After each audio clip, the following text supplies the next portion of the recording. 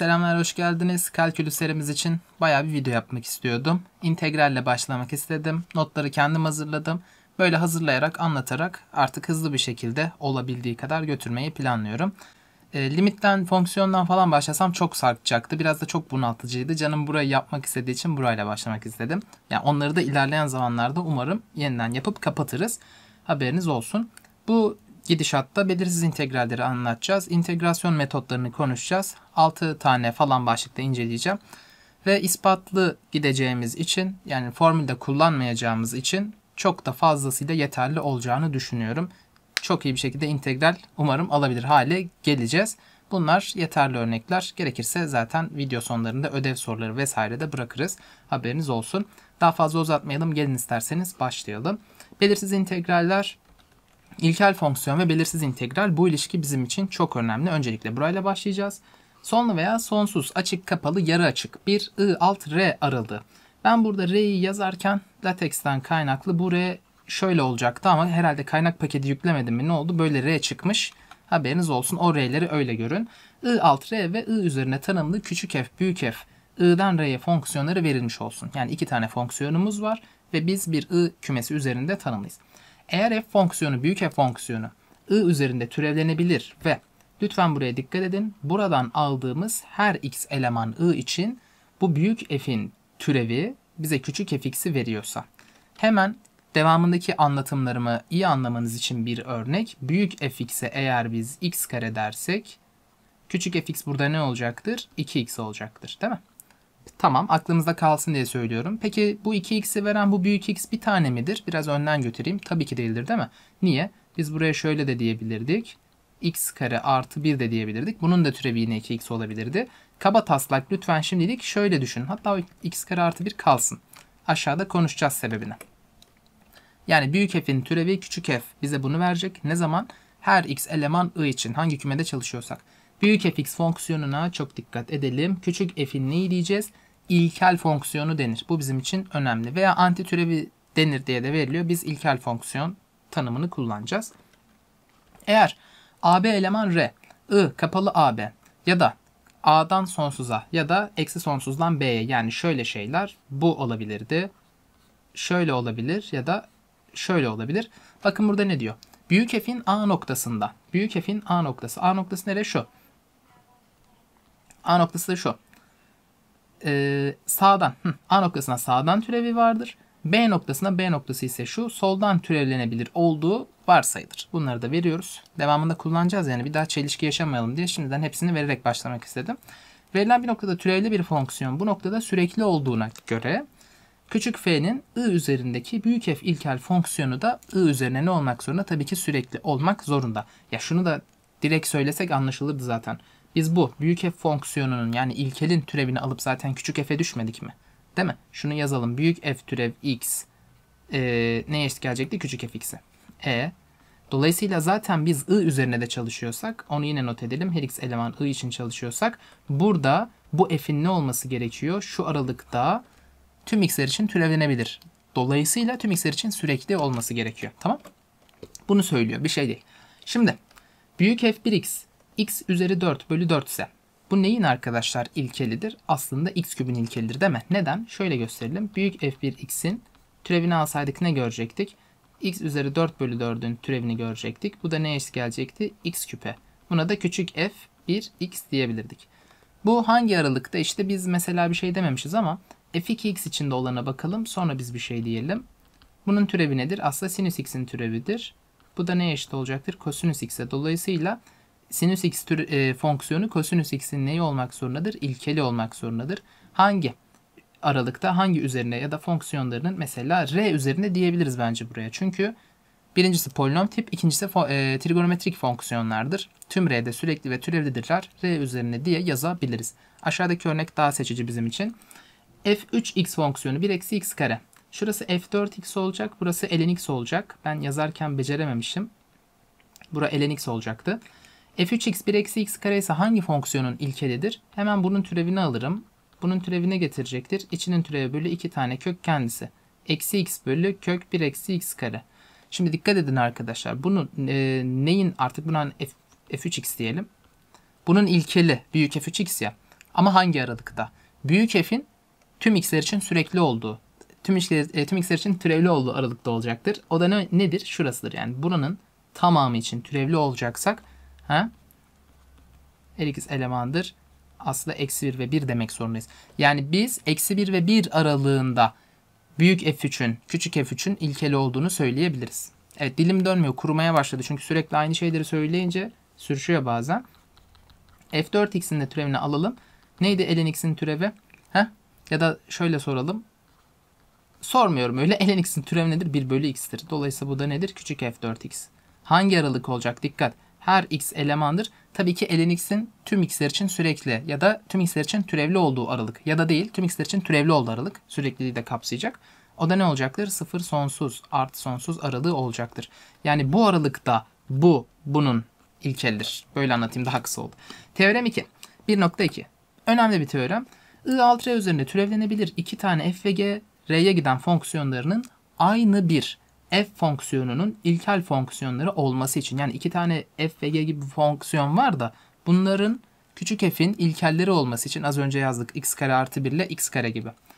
İlkel fonksiyonları olması için gerek ve yeter koşul. gx ve fx'in farklarının i üzerine sabit bir fonksiyon yani keyfi bir c sayısı olması ve tüm x'ler için sağlanmasıdır. Bunu şöyle gösteririz arkadaşlar. Bir tane f fonksiyonu alalım. Büyük f fonksiyonu alalım. Bu büyük f fonksiyonu yazayım hatta. Büyük fx yukarıda ispat yerimiz vardı. Olmadı götürür kopyalarız oraya. Büyük fx her x eleman i için fx'in ilkeli olsun. Bu durumda neyi söyleyebilirsiniz? Şunu söyleyebilirsiniz. f türev x dediğimiz şey ne eşit gelecektir? fx. Ve diyorum aslında biz buraya fx'e bir c ekleseydik yine türevini alsaydık. x kare artı 1'deki 1 gibi düşünün. Bu neye eşit gelecekti? Türev kuralları gereği türev buralara dağılacaktı. Bu yine büyük f türev x gelecekti. Soldan neyi biliyoruz? Bu küçük fx'e eşit. Bir anlam çıktı. Dolayısıyla büyük fx artı c fonksiyonunda küçük fx'in ilkeli olmak zorundadır. Nerede? Her x elemanıdır i'da. Bakın bu da gx gibi bir fonksiyonmuş. Bize bunu söylüyor. Yani şurada aldığımız tüm gx'ler fx artı c gibi şeylerin hepsi küçük fx'in ilkeli olacakmış. Bu birinci gösterimimizde. Bir tane daha göstereceğiz. O da şu. Yani bir yukarıdan aşağı geldiğimizde ancak ve ancak koşulunu ispatlıyoruz ya. Bir de şöyle bir şey yapabiliriz. F ve g fonksiyonları f'in ilkeli olsun. f ve g her x eleman i için f'in fx'in ilkeli olsun. Buradan neyi söyleyebilirsiniz? Eğer ikisi de bunun ilkeli ise büyük f türev x eşittir büyük g türev x. Bunlar da fx'e eşit gelecek. Şimdi bakın çok güzel bir şey var orada. Göz kırpıyor size. Madem şu ikisi birbirine eşit o zaman neyi söyleyebiliriz? İse derim f türev x ile g türev x'in farkı sıfırdır. Madem türevlerinin farkları sıfır o zaman farklarının da türevi ne gelecektir? Sıfır gelecektir. Öyle bir fonksiyon söyleyin ki her x eleman i aralığında türevi sıfır olsun. İşte burası c gibi bir şey olmak zorunda. Değil mi? Çünkü sabitin türevi sıfır gelecek. O yüzden şunu görüyorum. Hatta ispat tutsun diye buraya eksi c diyeyim. Eksi c'nin de türevi sıfırdır. Şunu görüyorum. Büyük fx eksi gx dediğimiz ifade ne eşit gelecektir? Eksi c'ye. Şurası yok pardon. Eksi c'ye. Dolayısıyla burada fx dediğiniz şey ne eşit gelecektir? gx artı c. Ya da gx dediğimiz şey. Öyle demiş ispat. Ona götürmeye çalışalım. fx artı c olacaktır. Anlaştık mı? Bir daha söyleyelim. Buradaki anlam şu. Eğer siz bir fonksiyonun ilkeliyseniz burada c kadar c sabitiyle farkıyla yine ilkeli olmaya devam edersiniz. x kare artı 1'in de türevi x kare 2x'tir. x kare artı 99'un da türevi 2x'tir yine. Bu da bunun ispatıydı. Tamam aşağıdakileri buraya yapıştırırım ben. Zaman kaybetmeden devam edelim. Sizi şöyle ufacık yana taşıyacağım. Peki bakalım. Tanım 1.3. I alt R üzerinde tanımlı f. Heh, artık belirsiz integral tanımını veriyorum. I üzerindeki tüm ilkel fonksiyonların kümesine. Dikkat edin. Tüm ilkel fonksiyonların. Biz buna ne diyoruz? Küçük f'in I üzerindeki belirsiz integral diyoruz. Yani bunun anlamı şu. Bana öyle bir ifade söyleyeceksiniz ki e, ben bunun integralini aldığımda içerideki ifadenin neyini bulmuş? Şöyle anlatayım. Yine karışıklık oldu. Bunun anlamı şudur. Bana öyle bir şey söyleyin ki buranın türevi bana içeriği versin. Yani şöyle diyelim. 2x dx. Bunun anlamı şudur. Öyle bir şey yazın ki buranın türevi bana 2x'i versin. Ne olabilir? İşte x kare olabilir. 1 eklersin, 2 eklersin, 5 eklersin. Onunla uğraşmamak için c ekliyorum. c gibi bir şey. Anlaştık mı? İşte biz ne diyormuşuz? Bu belirsiz integrali bu içeride yazdığımız fx'in tüm ilkel fonksiyonlarını verdiğini söylüyormuşuz. Tamam bu sembolle gösteriyoruz. Buna integral işaret ediyoruz. Artık biliyorsunuz.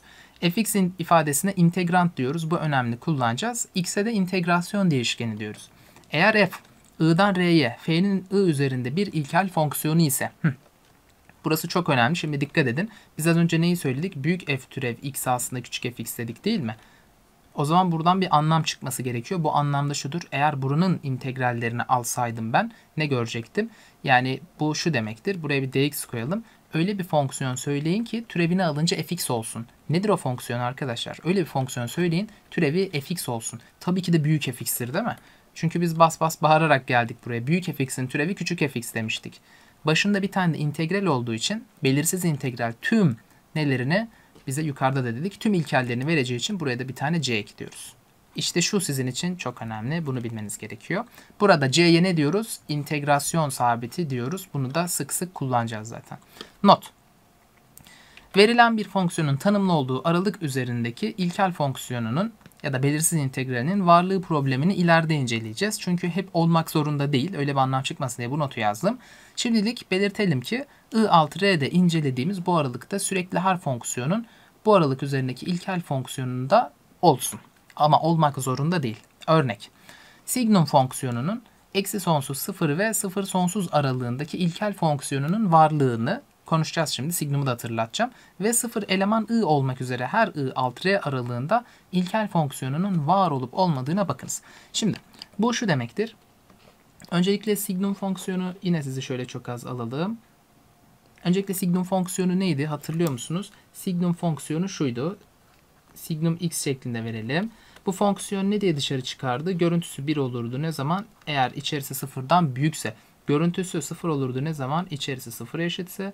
Eksi 1 olurdu ne zaman? İçerisi negatifse. Yani bunun da grafiği aslında şöyle bir şeydir. 1 diye gidecektir. Burada boncuk. Burası 0. Burada boncuk. Eksi 1 diye gidecektir. Tamam. Şimdi bize neyi söylüyor? Eğer öyle bir aralık varsa nasıldı? I alt mesela eksi sonsuz 0 aralığı demişti. Heh, buradan aldığımız her x eleman i için aslında bizim fx'imiz ne olacaktır? Öyle bir şey söyleyin ki arkadaşlar burası negatif aralık ya yani şöyle gösterelim burası 0. İşte bu aralıkta aldığımız her şeyin yanıtı eksi 1 geliyormuş. Heh, o zaman öyle bir fonksiyonun türevini aldırın ki eksi 1 gelsin. İşte o fonksiyonda nedir? fx fonksiyonu eksi x artı c gibi bir şeydir. Bakın bunun türevini aldırırsanız hepsi eksi 1 gelir. Ya da i bunun eğer alt kümesi ise burada neyi görüyorum? Her x elemanıdır i için. Yanıtın 1 gelmesi için ne olacaktır? fx dediğimiz ifade x artı c gibi bir şey olacaktır. Şimdi buradan bir sonuç çıkıyor. Nihayetinde biz sıfırın da i'da olduğunu biliyoruz yazmıştı. Buraya bir büyük fx fonksiyonu tanımlayalım. Bu büyük fx fonksiyonu mutlaka bir tane f1x'ten oluşmalı. Sebep eksi x artı c1 gibi bir şey. Çünkü burası mesela eksi sonsuzla sıfır aralığındaydık ya. Burayı dilerseniz şöyle diyelim. a ile sıfır aralığı diyelim. Bir tane a olsun. Burada şuraya da sıfır koyalım. Niye? Şu yüzden burası e, sıfır açık olsun hatta. Burası sıfır. Şurası A kadar. Yani bunu kapatmış olalım. Bu böyle gidiyordu ya burada bir yerde durdurayım. Daha iyi görelim diye. Bir tane de f2x fonksiyonu yazmamız lazım. Bu da ne gelecektir? x artı c2 gelecektir. Bunu da b'de durduralım mesela. Sıfırdan b'ye kadar diyelim. Bu da burada bir yerde dursun. Bunu niye yapıyorum? Arkadaşlar şimdi türevi olmayacak sıfır noktasına onu göstermeye çalışıyorum. Signum fonksiyonunu çizmiştik ya. Hangi fonksiyonun türevi 1 getirir? En basit tabirle. X'in değil mi? Sizin grafiğiniz şöyle olabilirdi işte bakın. Burası X, burası eksi X'tir değil mi? Diyelim ki sıfıra kadar yani sıfırla sonsuz aralığında siz X olun. Bunun türevi nedir? Sıfırla sonsuz aralığında 1'dir. Heh, dolayısıyla bakın bu grafik şöyle olacaktı. 1. Bu signum fonksiyonu bak bunun da grafiği şöyle olacaktı. Eksi 1. Tabii ki ne zaman? Eksi sonsuzda sıfır aralığında da eksi x olsaydı. Bir de sıfır olacaktı. Sıfır da burada. Şimdi neyi görüyorsunuz?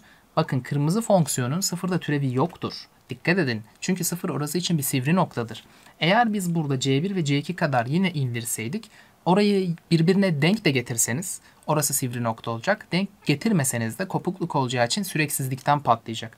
O yüzden bu şekilde bir signum fonksiyonunun neyi? İlkelinin olması mümkün değil. I üzerinde ilkelinin olması mümkün değildir. Tamam mı? İlkeli yoktur. Bir daha söylüyorum. Niye? Çünkü biz bu işlemleri nerede yaptık? I'da yaptık ve I'da aldığımız her x eleman I için türev olmayabilir. Türev yok. Bakalım şu özelliklere. 1. İntegral fx dx'in türevi. Burası çok önemli. Lütfen daha iyi anlamak adına şöyle düşünün. Eğer fx'imiz 2x olsaydı biz bunun integralini alsaydık. Ne demek integrali? Neyin türevi 2x? Burası ne olacaktır? x kare artı c gibi bir şey olacaktır. Bakın bize x kare artı c'nin türevini soruyor.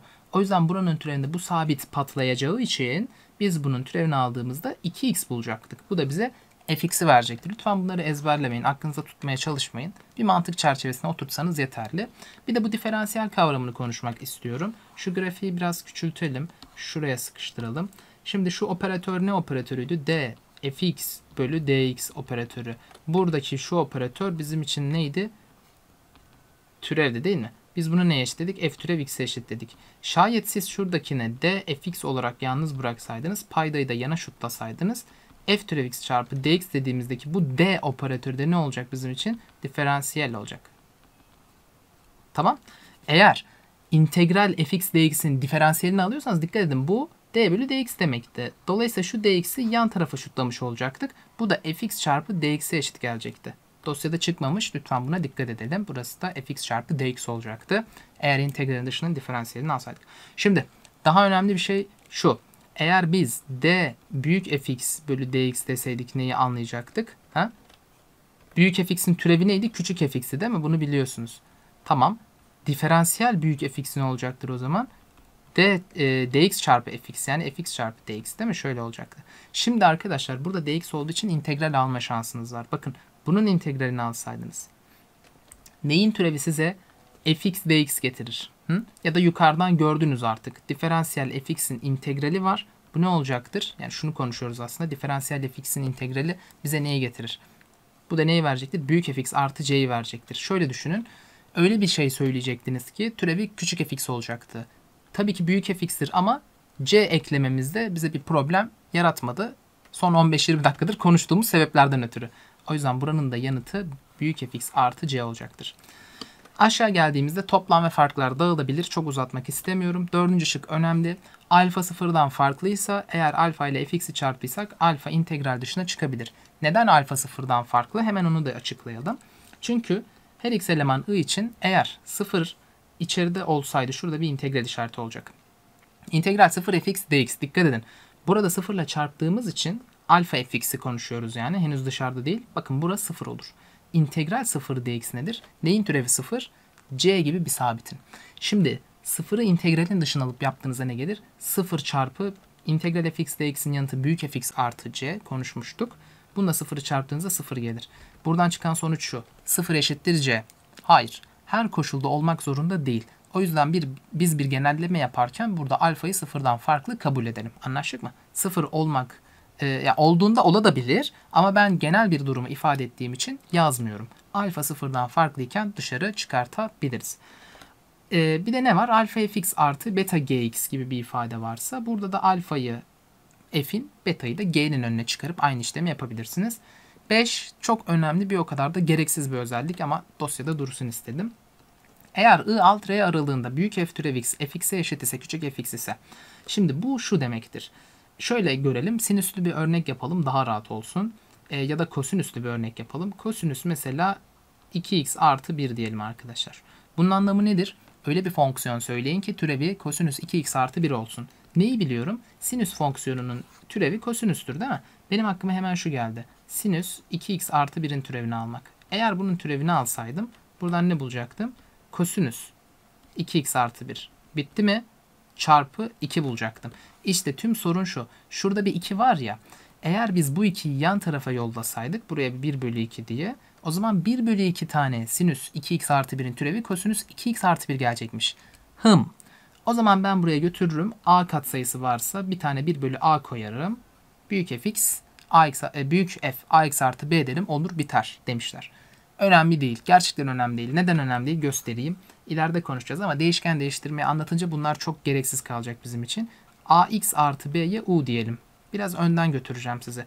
Bunun diferansiyelini alsaydık ne olacaktı? Şuranın diferansiyeli de şuranın diferansiyeli.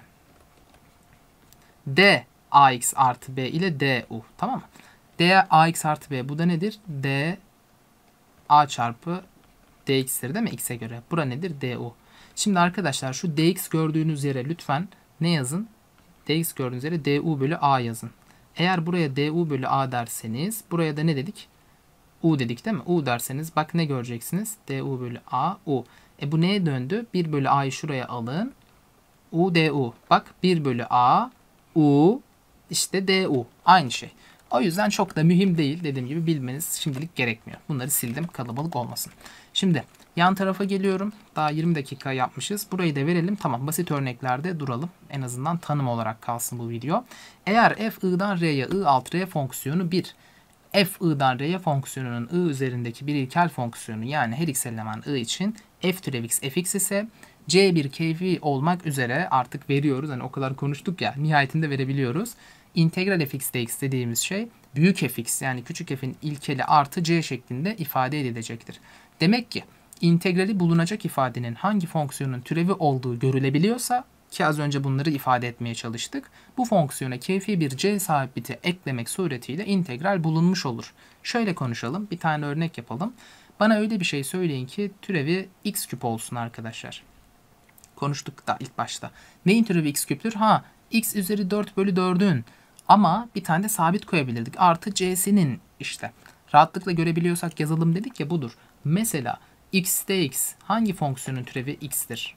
Hı?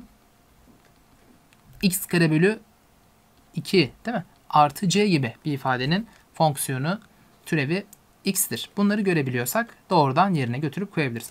Buna göre diferansiyel hesabında elementer form, e, fonksiyonlarla ilgili bildiğimiz temel türev formüllerini kullanacağız. Ben bu temel türev formüllerinde aslında bu kayıtta verebilirim. Vereyim ya burada bitirelim bir daha sarkmasın. Neydi? x üzeri alfa dx demişiz. Şimdi x üzeri n'li bir formülün biz e, türevini alsaydık ne görecektik? n çarpı n, e, n çarpı x üzeri n eksi 1. Arkadaşlar o zaman böyle bir şeyin türevi bu olamaz değil mi? Yani öyle bir türev aldırın ki tepede n'ye kalsın. Bir kere n artı birinci kuvvetten olmak zorunda.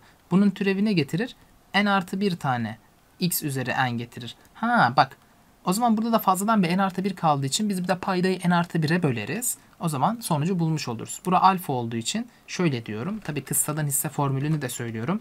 Üstü 1 arttıralım. Alfa artı 1 arttırdığımız sayıya bölelim. İşte bu bunun integralidir ya da bunun türevi içerisidir. Tekrar tekrar söylemeyeceğim artık. Alfa burada ne olmak zorunda? Eksi birden farklı olmak zorunda. Sebep eğer alfa eksi 1 olsaydı yani 1 bölü x dx olsaydı bu özel bir integraldir. Neydi? Konuştuk zaten yukarıda ama bu ln x'tir. ln x artı c'dir. Lütfen bunu unutmayın. Alfa birden farklı olduğu durumda kullanıyorum. dx bölü x yani geldi zaten 1 bölü x dx değil mi? Şöyle yazayım isterseniz daha rahat görün. Bu da ne gelecektir? ln x gelecektir. x sıfırdan farklı olmak zorunda. Sebep paydayı bozmasın. Alfa üzeri x nedir? Dikkat x üzeri alfa değil. Hemen şunu anımsayalım. Difera, e, d a üzeri x bölü dx. Bunun türevi neydi? Ha? Aslında bu üstel türev değil mi? Üstel fonksiyonun türevi. a üzeri x çarpı ln a idi. Ha, eğer biz buranın a üzeri x'in türevini alırken bir de paydaya ln a koysaydık. a üzeri x bölü ln a'nın türevi ne gelecekti ki? Hı? Bir şey değiştirmeyecek değil mi? Ya da şöyle diyelim. a üzeri x'in türevi bölü ln a diyelim. Daha güzel oldu. Bu da bize neyi verir? a üzeri x'i verir. İşte demek ki şu ifadenin türevi buymuş. Yani ne diyebiliriz? a üzeri x bölü ln a. ln a sabit olduğu için bu arada o kadar rahat yazabildik. a üzeri x bölü ln a yazarsak bunun da türevi gelecektir. Tabii ki buraların hepsinde bir integral sabiti olan c var. Ben yazmayı unutursam haberiniz olsun. a sıfırdan büyük olmak zorunda, birden farklı olmak zorunda. Sebep üstel fonksiyon tanımı. E üzeri x dx çok önemli bir aslında türevdir bizim için. İspatlarını henüz kanalda var türev kayıtları. Oradan da bakabilirsiniz. Türevi ve integrali kendisine eşit olan tek fonksiyondur. C farkını saymazsak. Bununki de yine ne olacaktır? E üzeri x artı c olacaktır. Bunu da biliyorsunuz. Şimdi geldik. Öyle bir fonksiyon söyleyin ki türevi sinüs, sinüs getirsin. Hangi fonksiyonun türevi sinüstür? Ha? Eksi kosinüs x artı c'nin türevi sinüstür. Hangi fonksiyonun türevi kosinüstür? Sinüs x artı c'nin türevi kosinüstür. Tabi şöyle şeyler de sorulabilir. Hani konuştuk ama bir tane de biz soralım. Sinüs 3x artı 1 dx. Bunu nasıl bulacaksınız? Bu sefer de bir tane 1 bölü 3 koyacaktık değil mi kafasına? E buraya bir tane 1 bölü 3 koysaydım. Bir de eksi koysaydık. Eksi 1 bölü 3 çarpı kosinüs 3x artı 1. Bakın bunun da türevi bu gelecekti. Henüz işte bunları vermemişiz. Bunlar basit türev örnekleri hatırlayalım diye konuştuğumuz şeyler. dx bölü cos kare x. Ben bunu şöyle yazsak daha güzel olacağını düşünüyorum. Sekant kare x dx. Hatırlayalım. Tanjant x fonksiyonunun türevi. Neydi bu? Sinüs x bölü kosinüs x diye yazsaydınız. Sinüs x bölü kosinüs x'in türevi. Buradan ne gelecekti? Sin kare e, işte eksi artıya dönecekti kos kare. Yani 1 bölü kos kare x gelecekti değil mi? Bunun türevinden. Bu da nedir? Sekant kare x. Demek ki türevi sekant kare x olan fonksiyon tanjant x fonksiyonuymuş. 1 bölü sin kare x. Bunu nasıl yazabiliriz? Kosekant kare x dx diye yazabiliriz. Hangi fonksiyonun türevi kosekanttır? Ee, bunu konuşuyor olacağız. Ee, tanjant. Şimdi kotanjantın kotanjantı nasıl e, vereyim size? Kotanjant. Kot değil mi? Kot da yazalım. Kotanjant x. Bunun türevi. Bu da ne gelecektir? Kosinüs x bölü. Sinüs x. Üstün türevi. Kosinüs x'in türevi nedir? Eksidir. Eksi sin kare x olacaktı burası bakın. Eksi diyecektik. Kendisiyle aşağının türevinin çarpımı cos kare x gelecekti. Buradan eksi 1 geldiği için eksi 1 bölü sin kare x. Bu ne eşit gelecektir? Eksi kosekant kare x olacak değil mi? Eksi kosekant kare x artı c olacaktı. E bunu da burada bulmuş olduk işte. Nedir o zaman burası? Hangi fonksiyon türevi budur? Eksi kotanjant x artı c olacaktır. Yani bunları türevden biliyorsunuz zaten ama bir daha hatırlamış oluyoruz. Aslında türev yapıyoruz burada. Aşağı gelelim. Bunları da vereyim. Heh, hiperbolikler çok özledim ya biliyor musunuz? Çok uzun süre oldu. Hiç hiperbolik çalışmayalı, konuşmayalı. Sinüs hiperbolik x fonksiyonu neydi bunun tanımı? Ya da önce kosinüsü vereyim. O daha sıcak geliyor bana. Kosinüs hiperbolik x e üzeri x artı e üzeri eksi x bölü 2. Sinüs hiperbolik x neydi? e üzeri x eksi e üzeri eksi x bölü 2. Bildiğimiz bir şey vardı burada. Şimdi göreceğiz ama cos kare hx eksi sin kare hx eşittir bir formülü bunu kullanacağız. Tanjant ve kotanjant formülleri yine trigonometrikteki formüllerle aynı şekilde geçerlidir. Sinüs hx'in e, türevi.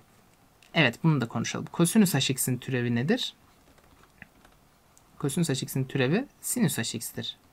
Sinüs hx'in türevi nedir? Kosinüs hx'tir. Dolayısıyla hangi fonksiyonun türevi sinüs hx'miş? Kos hx'in. Kos hx artı c gelecektir. Cos hx dx hangi fonksiyonunkiydi? Sin hx. Bunu da buradan yazmış olduk. Sin hx artı c. Başka ne kaldı? Dx bölü cos h kare x kalmış. Bu da nedir? Evet işte sekant h kare x'tir. Bunları direkt yazabilirim artık değil mi ya? Bu tanjant h kare x artı c getirecektir bize. Şimdi burada bakın sıfırdan farkı demişiz sinüs için. Niye? Bunları hatırlatmak için bir daha vereyim. Bunun grafiği şöyle bir şeydi. x küpe benziyordu. Sin hx'in grafiği. Dolayısıyla burada sıfırda sıfır getireceği için bunu almayacağız. Cos hx'in grafiği nasıldı? Şöyle bir şeydi değil mi? Burası birden geçiyordu. Bu da cos hx olacaktı. Grafiklerini de vermiş olalım. Tanjant h kare x dedik. Eksi kotanjant hx artı c gelecektir burası da. Bunu da yazmış olalım. Bunları artık dilerseniz siz gösterirseniz o yüzden çok üzerinde durmuyorum. Burası çok önemli. Bu ikisini çok sık kullanacağız. Nedir? Hemen birini vermek istiyorum. Eğer fonksiyonumuz y eşittir ya da fx eşittir arc tanjant x olsaydı arc tanjant x tanım kümesi içerisinde tabii ki arc tanjant x'in tanım kümesi neyse hangi aralıkta konuşuyorsak o aralık için ben şu anda o aralığı yazmaya çalışmayacağım ama burayı tanımsız yapanları çıkarttığımız aralık lütfen öyle düşünün. Her tarafın tanjantını alsaydım tanjant fx ne gelecekti? x gelecekti değil mi? Çok güzel. Bakın bu şu demek. Burada bir üçgen var. Biz burada bir eğer fx açısı konuşuyorsak karşısı bölü komşusu dediğimiz şey x'e 1'miş. Dolayısıyla hipotenüsü 1 artı x kareden ibaretmiş. Şimdi buranın türevini alıyor olsaydınız ne görecektiniz? Ha? Tanjant fx'in türevini alıyor olsaydınız içerisinin türevi çarpı sekant kare x yukarıdan konuşup geldik eşittir 1 gelecekti. Sekant kare fx özür dilerim eşittir 1 gelecekti. Sekant kare fx nedir? Karşı bölü komşu değil. Komşu bölü hipotenüstür değil mi? 1 bölü kosinüs olacaktı. Komşu bölü hipotenüs. Dolayısıyla bu f türev x. f türev x de zaten arctanjant x'in türevi. Çarpı 1 bölü hipotenüs. 1, 1 bölü 1 artı x karenin karekökü. Karesini aldık. 1 bölü 1 artı x kare takla attırdık. 1 artı x kare. Bu da 1'e eşit. Ha çok güzel. Demek ki f türev x yani bu da ne eşittir? Arctanjant x'in türevi türevi eşittir 1 bölü 1 artı x karedir. Demek ki hangi fonksiyonun türevi 1 bölü 1 artı x kareymiş? Arctanjant x'in türevi 1 bölü 1 artı x kareymiş. O yüzden bu arctanjant x'e eşit gelecek. Aşağısı için ne deriz? Aşağısı tabi bu başka bir şeyde eşit gelebilir. Eksi arc kotanjant x'e mi eşit geliyor? Bunu e, trigonometrik oranlarla siz gösterebilirsiniz. Biz bir tanesine daha bakalım. O da şu olsun. E, mesela gx fonksiyonu diyelim. Bu da sanırım arc sinüs x olacak. Arc sinüs x. Neyi göreceğiz? Sinüs gx dediğimiz şey neye eşit gelecektir? x'e eşit gelecektir. Şimdi burada bir üçgen oluşturuyorum. Eksi ve 1 aralığında verilmesinin sebebi paydasının sağlaması. Bu üçgende dik üçgen olsun. Şurasına gx diyelim. Sinüs karşı bölü hipotenüs. Dolayısıyla buraya ne kaldı? 1 eksi x kare kaldı. x kare topladık 1 geldi. Tamam. Türevini alıyorum. Ne görürüm? G türev x çarpı cos gx. Bu ne eşit gelecektir? 1'e. Cos gx nedir? Ya da g türev x eşittir 1 bölü cos gx. Bu ne eşit gelir? 1 bölü cos gx aslında hipotenüsü tepesine atacağız. Değil mi? Hipotenüs bölü komşu mu diyeceğiz? 1 bölü kosinüs sekant. Doğru. Hipotenüs bölü komşu. E bu ne getirir ki arkadaşlar? Çıkmış zaten 1 bölü kök 1 eksi x kare getirir. Değil mi? İşte şu da g türev x'tir. G türev dediğimiz şey buydu. Bunun türevi buydu. Dolayısıyla burası da ne gelecektir? Arc sinüs x artı c. Dediğim gibi bunu kosinüslü bir şeye de benziyordur mutlaka. Yazabilirsiniz. Ben artık orayla bir daha uğraşmak istemiyorum. Şimdilik burada duralım. Bunlar belirsiz integralin tanımı ve ilkeli üzerine yaptığımız girişti. Akabinde hemen şu temel integralleri konuşacağız. Diğer kayıtta muhtemelen değişken değiştirme metodu, e, işte diğer metotlar, ne bileyim rasyonel metot bunların hepsini konuşuyor olacağız. Evet bu ilk videoydu. Açıklama kısmında pdf'lere ulaşabilirsiniz. Videoyu beğenmeyi unutmayın diyorum. Diğerde de görüşürüz.